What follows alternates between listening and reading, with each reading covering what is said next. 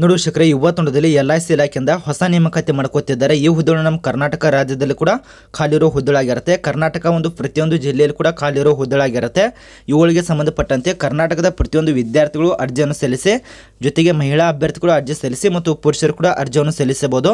ಆದಷ್ಟು ಇವುಗಳಿಗೆ ಸಂಬಂಧಪಟ್ಟಂತೆ ವಯಸ್ಸಿನ ಸಡಿಲಿ ಕೂಡ ಅನುವಾಗುತ್ತೆ ವಿಡಿಯೋದ ಮುಂದೂಡಿಯೋ ತಿಳಿಸ್ಕೊಡ್ತೀವಿ. ಎಷ್ಟು ಸಡಿಲಿಕ್ಕೆ ಅನುವಾಗುತ್ತೆ ಮತ್ತು ಯಾವ್ಯಾವ ಡಾಕ್ಯುಮೆಂಟ್ಸ್ ಬೇಕಾಗುತ್ತೆ ಮತ್ತು ಯಾವ ರೀತಿಗೆ ಅರ್ಜಿಯನ್ನು ಸಲ್ಲಿಸಬೇಕು ಮತ್ತು ಶೈಕ್ಷಣಿಕ ಅರ್ಹತೆ ಏನಾಗಿರಬೇಕು, ಒಂದೊಂದಾಗಿ ಮಾಹಿತಿ ಹೊಡೆದಲ್ಲಿ ನಾವು ನಿಮಗೆ ಸಂಪೂರ್ಣ ತಿಳಿಸ್ಕೊಡ್ತೀವಿ. ಆದಷ್ಟು ವಿಡಿಯೋನ ಸ್ಕಿಪ್ ಮಾಡದೆ ಕೊನೆ ತನಕ ನೋಡಿ.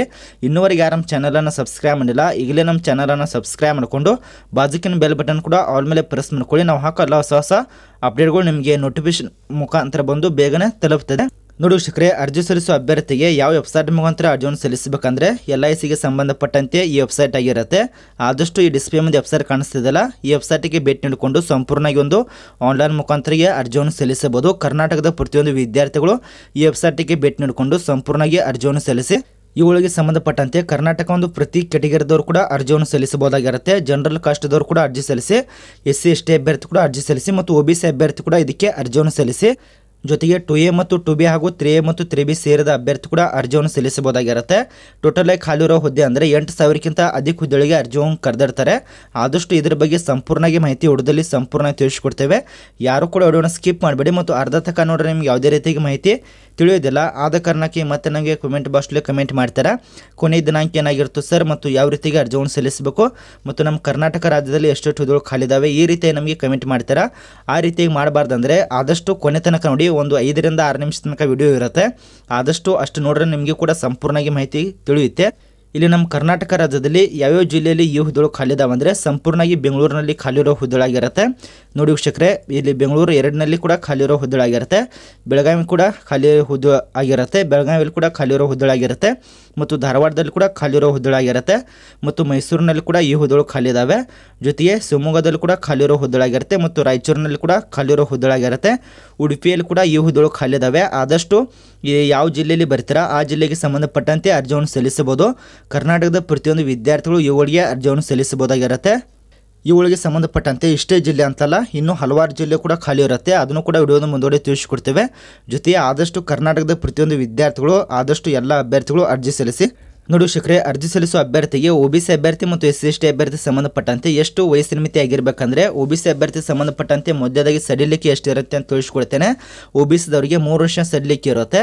ಅನುವಾಗುತ್ತೆ ಮತ್ತು ಎಸ್ ಸಿ ಎಸ್ ಟಿ ಅಭ್ಯರ್ಥಿ ಸಂಬಂಧಪಟ್ಟಂತೆ ಐದು ವರ್ಷದ ತನಕ ಸಡಿಲಿಕ್ಕೆ ಅನುವಾಗುತ್ತೆ ಜೊತೆಗೆ ಎಸ್ ಸಿ ಎಸ್ ಟಿ ಅಭ್ಯರ್ಥಿ ಮತ್ತು ಒ ಬಿ ಸಿ ಅಭ್ಯರ್ಥಿಗೆ ಸಂಬಂಧಪಟ್ಟಂತೆ ಸದಸ್ಯರ ಅಲ್ಲದ ಎಲ್ ಐ ಸಿ ಉದ್ಯೋಗದಲ್ಲಿ ಕಾಯಮ ಒಂದು ವಿಳಾಸದಲ್ಲಿ ಆದಂಥ ಕೆಲಸ ಮಾಡುತ್ತಿದ್ದ ಅಭ್ಯರ್ಥಿ ಸಂಬಂಧಪಟ್ಟಂತೆ ಹನ್ನೆರಡು ವರ್ಷದ ತನಕ ಸಡಿಲಿಕ್ಕೆ ಅನುವಾಗುತ್ತೆ ಒ ಬಿ ಸಿ ಅಭ್ಯರ್ಥಿಗೆ ಇದು ಸದಸ್ಯರಾಗುವ ಎಲ್ ಐ ಸಿಯಲ್ಲಿ ಸಂಬಂಧಪಟ್ಟಂತೆ ಹದಿನೈದು ವರ್ಷದ ತನಕ ಸಡಿಲಿಕ್ಕೆ ಅನುವಾಗುತ್ತೆ. ಜೊತೆಗೆ ಒಂದು ಎಲ್ ಐ ಸಿಯಲ್ಲಿ ಎಸ್ ಸಿ, ಎಸ್ ಟಿ ಅಭ್ಯರ್ಥಿ ಸಂಬಂಧಪಟ್ಟಂತೆ ಸದಸ್ಯರಾಗಿರುವ ಎಲ್ ಐ ಸಿಗೆ ಸಂಬಂಧಪಟ್ಟಂತೆ, ಅಂದರೆ ಉದ್ಯೋಗದಲ್ಲಿ ತೊಡಗಿರುವ ಅಭ್ಯರ್ಥಿಗೆ ಹದಿನೇಳು ವರ್ಷದ ತನಕ ಸಡಿಲಿಕ್ಕೆ ಅನುವಾಗುತ್ತೆ. ಆದಷ್ಟು ನಿಮ್ಮ ವಯಸ್ಸಿನ ಮಿತಿ ಲೆಕ್ಕಾಚಾರ ಮಾಡಿಕೊಂಡು ಅರ್ಜಿ ಸಲ್ಲಿಸಲು ಪ್ರಯತ್ನ ಮಾಡಿ. ಜೊತೆಗೆ ವಯಸ್ಸಿನ ಮಿತಿ ಕೂಡ ಅನೌನ್ಸ್ ಮಾಡಿದ್ದಾರೆ.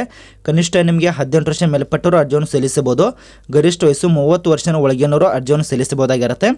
ಆದಷ್ಟು ಒಂದು ಜನವರಿ ಎರಡು ಸಾವಿರದ ಇಪ್ಪತ್ತ್ಮೂರರಂತೆ ನೀವು ವಯಸ್ಸಿನ ಮಿತಿ ಕೂಡ ಲೆಕ್ಕಾಚಾರ ಮಾಡಲಿಕ್ಕೆ ಅವರನ್ನು ಆಯ್ಕೆಯನ್ನು ಮಾಡ್ಕೊಳ್ಳಾಗುತ್ತೆ ನೋಡಿ ಶಿಖರೆ ಇಲ್ಲಿ ಖಾಲಿರೋ ಸಂಸ್ಥೆ ಹೆಸರು. ಎಲ್ ಐ ಸಿ ಇಲಾಖೆಯಲ್ಲಿ ಅಂದರೆ ಸಂಸ್ಥೆಯಲ್ಲಿ ಖಾಲಿರೋ ಹುದ್ದೆಗಳಾಗಿರುತ್ತೆ ಟೋಟಲ್ ಪೋಸ್ಟ್ ನೋಡಿದ್ರೆ ಎಂಟು ಸಾವಿರದ ಮೂರುನೂರ ನಲವತ್ತೈದು ಹುದ್ದೆಗಳು ಖಾಲಿ ಇರುತ್ತೆ. ಆದಷ್ಟು ಈ ಹುದ್ದೆಗಳು ನಮ್ಮ ಕರ್ನಾಟಕದಲ್ಲಿ ಕೂಡ ಖಾಲಿರೋ ಹುದ್ದೆಗಳಾಗಿರುತ್ತೆ ನಮ್ಮ ಕರ್ನಾಟಕ ಒಂದು ಪ್ರತಿ ಜಿಲ್ಲೆಯಲ್ಲಿ ಕೂಡ ಖಾಲಿರೋ ಹುದ್ದೆಗಳು ಮತ್ತು ಉದ್ಯೋಗ ಸ್ಥಳ ಅಖಿಲ ಭಾರತ ಕೂಡ ಅನೌನ್ಸ್ ಮಾಡಿದ್ದಾರೆ. ಆದರೆ ನಮ್ಮ ಕರ್ನಾಟಕ ಒಂದು ಆಯಾ ರಾಜ್ಯಕ್ಕೆ ಸಂಬಂಧಪಟ್ಟಂತೆ ರಾಜ್ಯದಲ್ಲಿ ಕೆಲಸ ನೀಡ್ತಾರೆ ಮತ್ತು ಬೇರೆ ಬೇರೆ ರಾಜ್ಯಕ್ಕೆ ಸಂಬಂಧಪಟ್ಟಂತೆ ಒಂದು ನೋಟಿಫಿಕೇಶನ್ ಕೂಡ ಹೊರಡಿಸಿದ್ದಾರೆ. ಆದರೆ ಅವು ನಮಗೆ ಉಪಯೋಗ ಆಗೋದಿಲ್ಲ ಯಾಕಂದರೆ ನಮ್ಮ ಕರ್ನಾಟಕ ಅಭ್ಯರ್ಥಿಗಳು ಕರ್ನಾಟಕದಲ್ಲಿ ಅರ್ಜಿಯನ್ನು ಸಲ್ಲಿಸಬೇಕಾಗುತ್ತೆ ಆದ ಕಾರಣಕ್ಕೆ ನಾವು ಕರ್ನಾಟಕದವರು ಅಷ್ಟೇ ಒಂದು ನೋಟಿಫಿಕೇಶನನ್ನು ತೆಗೆದುಕೊಂಡು ನಿಮಗೆ ತಿಳಿಸ್ಕೊಡ್ತಾ ಇದ್ದೇವೆ. ಆದಷ್ಟು ಉದ್ಯೋಗ ಸ್ಥಳ ಅಖಿಲ ಭಾರತ ಅಂತ ಅನೌನ್ಸ್ ಮಾಡಿದ್ದಾರೆ.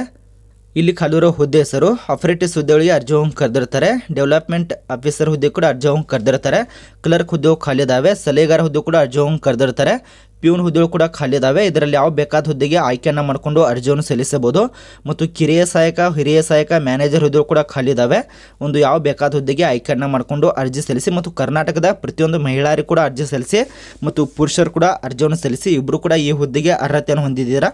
ನೋಡಿ ವೀಕ್ಷಕರೇ ಯಾವ್ಯಾವ ವಲಯಕ್ಕೆ ಸಂಬಂಧಪಟ್ಟಂತೆ ಎಷ್ಟೆಷ್ಟು ಪೋಸ್ಟ್ಗಳು ಖಾಲಿದಾವೆ ಅಂದರೆ, ದಕ್ಷಿಣ ವಲಯಕ್ಕೆ ಸಂಬಂಧಪಟ್ಟಂತೆ ಇಲ್ಲಿ ಒಂದು ಸಾವಿರದ ಐದುನೂರ ಹದಿನಾರು ಹುದ್ದೆಗಳು ಖಾಲಿ ಇರುತ್ತೆ. ಮತ್ತು ಇಲ್ಲಿ ನೋಡ್ಬೋದು ವೀಕ್ಷಕರೇ ದಕ್ಷಿಣ ಮಧ್ಯ ವಲಯಕ್ಕೆ ಸಂಬಂಧಪಟ್ಟಂತೆ ಹದಿನಾಲ್ಕು ನೂರ ಎಂಟು ಹುದ್ದೆಗೆ ಅರ್ಜಿ ಕರೆದಿರ್ತಾರೆ. ಉತ್ತರ ಮಧ್ಯ ವಲಯಕ್ಕೆ ಸಂಬಂಧಪಟ್ಟಂತೆ ಇಲ್ಲಿ ಒಂದು ಸಾವಿರದ ಮೂವತ್ತ್ಮೂರು ಹುದ್ದೆಗಳಿಗೆ ಅರ್ಜಿಯನ್ನು ಕರೆದಿರ್ತಾರೆ. ಆದಷ್ಟು ನೋಡ್ಕೊಳ್ಳಿ. ಉತ್ತರ ವಲಯಕ್ಕೆ ಸಂಬಂಧಪಟ್ಟಂತೆ ಇಲ್ಲಿ ಒಂದು ಸಾವಿರದ ಎರಡು ನೂರ ಹದಿನಾರು ಹುದ್ದೆಗಳಿಗೆ ಅರ್ಜಿಯನ್ನು ಕರೆದಿರ್ತಾರೆ. ಪೂರ್ವ ಕೇಂದ್ರ ವಲಯಕ್ಕೆ ಸಂಬಂಧಪಟ್ಟಂತೆ ಆರುನೂರ ಅರವತ್ತೊಂಬತ್ತು ಹುದ್ದೆಗಳು ಖಾಲಿ ಇರುತ್ತೆ. ಪಶ್ಚಿಮ ವಲಯದ ಕಚೇರಿಗೆ ಸಂಬಂಧಪಟ್ಟಂತೆ, ಅಂದರೆ ಮುಂಬೈಗೆ ಸಂಬಂಧಪಟ್ಟಂತೆ ಆಗಿರುತ್ತೆ. ಇಲ್ಲಿ ಒಂದು ಸಾವಿರದ ಒಂಬತ್ತು ನಲವತ್ತೆರಡು ಪೋಸ್ಟ್ಗಳಿಗೆ ಅರ್ಜಿಯನ್ನು ಕರೆದಿರ್ತಾರೆ. ಮತ್ತು ಕೇಂದ್ರ ಒಂದು ವಲಯ ಕಚೇರಿ ಭೋಪಾಲಿಗೆ ಸಂಬಂಧಪಟ್ಟಂತೆ ಇಲ್ಲಿ ನೋಡ್ಕೋಬೋದು ಐದುನೂರ ಅರವತ್ತೊಂದು ಹುದ್ದೆಗೆ ಅರ್ಜಿಯನ್ನು ಕರೆದಿರ್ತಾರೆ. ಇದರಲ್ಲಿ ಯಾವ ಬೇಕಾದ ವಲಯಕ್ಕೆ ಸಂಬಂಧಪಟ್ಟಂತೆ ಅರ್ಜಿಯನ್ನು ಸಲ್ಲಿಸಬಹುದು. ಆದಷ್ಟು ನಮ್ಮ ಒಂದು ಉತ್ತರ ವಲಯಕ್ಕೆ ಸಂಬಂಧಪಟ್ಟಂತೆ ಒಂದು ಕರ್ನಾಟಕ ಬರುತ್ತಿದೆ. ಆದಷ್ಟು ಎಲ್ಲ ಅಭ್ಯರ್ಥಿಗಳು ಕರ್ನಾಟಕಕ್ಕೆ ಅರ್ಜಿ ಸಲ್ಲಿಸಿ ಇಲ್ಲಿ ಅರ್ಜಿ ಶುಲ್ಕ ಎಷ್ಟಿದೆ ಅಂದರೆ ಎಸ್ ಸಿ, ಎಸ್ ಟಿ ಅಭ್ಯರ್ಥಿ ಸಂಬಂಧಪಟ್ಟಂತೆ ಇಲ್ಲಿ ಒಂದೂರು ರೂಪಾಯಿ ಇರುತ್ತೆ. ಇದು ಕನಿಷ್ಠ ಒಂದು ಅರ್ಜಿ ಶುಲ್ಕ ಆಗಿರುತ್ತೆ ಮತ್ತು ಎಸ್ ಸಿ, ಎಸ್ ಟಿ ಅಭ್ಯರ್ಥಿಗಳಿಗೆ ಸಂಬಂಧಪಟ್ಟಂತೆ ಹೊರತುಪಡಿಸಿ ಅಂದರೆ ಎಸ್ ಸಿ, ಎಸ್ ಟಿ ಅಭ್ಯರ್ಥಿಗೆ ಸಂಬಂಧಪಟ್ಟಂತೆ ಬೇರೆ ಕೆಟಗದವರಿಗೆ ಆಗಿರುತ್ತೆ ಅಂದರೆ ಟು ಎ ಮತ್ತು ಟು ಬಿ ಹಾಗೂ ತ್ರೀ ಮತ್ತು ತ್ರೀ ಬಿ ಸೇರಿದ ಅಭ್ಯರ್ಥಿಗಳು ಮತ್ತು ಇಲ್ಲಿ ಸಾಮಾನ್ಯ ಅಭ್ಯರ್ಥಿಗಳು ಜೊತೆಗೆ ಒ ಬಿ ಸಿ ಅಭ್ಯರ್ಥಿಗಳು ಏಳ್ನೂರ ಐವತ್ತು ರೂಪಾಯಿನ ಕಟ್ಟಬೇಕಾಗುತ್ತೆ. ಇದು ಅರ್ಜಿ ಶುಲ್ಕ ಆಗಿರುತ್ತೆ ಪಾವತಿಸಿ ವಿಧಾನ ಕೂಡ ಅನೌನ್ಸ್ ಮಾಡಿದ್ದಾರೆ. ಆನ್ಲೈನ್ ಮುಖವಾಗಿ ಪಾವತಿಸಬೇಕು. ಯಾವ ರೀತಿಗೆ ಅಂದರೆ ಡೆಬಿಟ್ ಕಾರ್ಡ್ ಮುಖಾಂತರಗೆ ಅಥವಾ ಕ್ರೆಡಿಟ್ ಕಾರ್ಡ್ ಮುಖಾಂತರಗೆ ಮತ್ತು ನೆಟ್ ಬ್ಯಾಂಕಿಂಗ್ ಮೂಲಕ ಕೂಡ ಈ ಅರ್ಜಿ ಶುಲ್ಕವನ್ನು ಪಾವತಿಸಬೇಕಾಗುತ್ತೆ. ಇವುಗಳಿಗೆ ಸಂಬಂಧಪಟ್ಟಂತೆ ಆಯ್ಕೆ ಪ್ರಕ್ರಿಯೆಗಳು ಮಧ್ಯದಾಗಿ ನಿಮ್ಗೆ ಪೂರ್ವವಾಯಿ ಪರೀಕ್ಷೆ ಇರುತ್ತೆ, ಅಂದರೆ ಲಿಖಿತ ಪರೀಕ್ಷೆ ಒಂದಿರುತ್ತೆ ಮತ್ತು ಮುಖ್ಯ ಪರೀಕ್ಷೆ ಇರುತ್ತೆ, ಸಂದರ್ಶನ ಮತ್ತು ದಾಖಲಾತಿ ಪರಿಶೀಲನೆ ನಡೆಸಿ ಆಯ್ಕೆಯನ್ನು ಮಾಡಲಾಗುತ್ತೆ.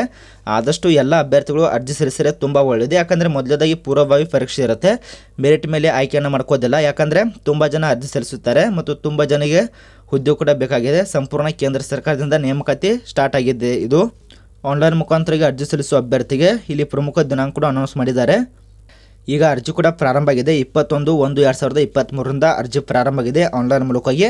ಇಲ್ಲಿ ಅರ್ಜಿ ಸಲ್ಲಿಸಲು ಕೊನೆಯ ದಿನಾಂಕ ಕೂಡ ಅನೌನ್ಸ್ದಲ್ಲಿದೆ ಹತ್ತು ಫೆಬ್ರವರಿ ಎರಡು ಸಾವಿರದ ಇಪ್ಪತ್ತ್ಮೂರರ ಒಳಗಾಗಿ ನೀವು ಇದಕ್ಕೆ ಅರ್ಜಿಯನ್ನು ಸಲ್ಲಿಸಬಹುದು. ಆದಷ್ಟು ಆನ್ಲೈನ್ ಈ ಪರೀಕ್ಷೆಗಾಗಿ ಕರೆ ಪತ್ರ ಬಿಡುಗಡೆ ಮಾಡುವ ದಿನಾಂಕ ಕೂಡ ಅನೌನ್ಸ್ ಮಾಡಿರ್ತಾರೆ.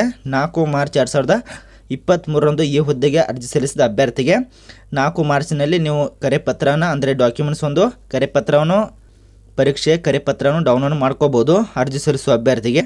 ಮುಂಚಿತವಾಗಿ ಆನ್ಲೈನ್ ಪರೀಕ್ಷೆ ಕೂಡ ದಿನಾಂಕ ಕೂಡ ಅನೌನ್ಸ್ ಮಾಡಿದ್ದಾರೆ. ಅದೇನೆಂದರೆ ಪೂರ್ವಭಾವಿ ಪರೀಕ್ಷೆ ಹನ್ನೆರಡು ಮಾರ್ಚ್ನಲ್ಲಿ ಪರೀಕ್ಷೆ ನಡೆಸುತ್ತಾರೆ ಮತ್ತು ಆನ್ಲೈನ್ ಪರೀಕ್ಷೆ ದಿನಾಂಕ ಕೂಡ ಅನೌನ್ಸ್ ಮಾಡಿದ್ದಾರೆ.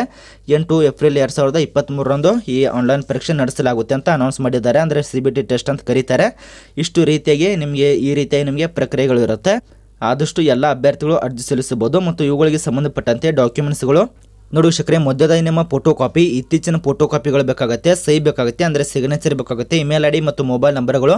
ನಿವಾಸದ ಪ್ರಮಾಣಪತ್ರ, ಯಾವ ರಾಜ್ಯದಲ್ಲಿ ವಾಸ ಮಾಡುತ್ತಿದ್ದರೆ ವಾಸ ಸ್ಥಳದ ಪ್ರಮಾಣ ಬೇಕಾಗುತ್ತೆ, ಜಾತಿ ಪ್ರಮಾಣ ಪತ್ರ ಮತ್ತು ಆದಾಯ ಪ್ರಮಾಣ ಪತ್ರಗಳು ಶೈಕ್ಷಣಿಕ ಅಂಕಪಟ್ಟಿಗಳು.